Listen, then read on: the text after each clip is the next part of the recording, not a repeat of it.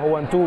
Eh, no hay un solo acto en que los jóvenes no participemos en repudio al genocidio cometido por Israel contra Palestina, en repudio a que seamos un país injustamente conocido como patrocinador del terrorismo, en repudio a todo acto criminal que sea los jóvenes cubanos estamos. La frontera es una unidad especial de nuestro país eh, que se encuentra muy cerca de la base naval de Guantánamo. Es la, constituye la primera trinchera de combate de nuestro país. Eh, para mí eh, representa todo lo que un joven cubano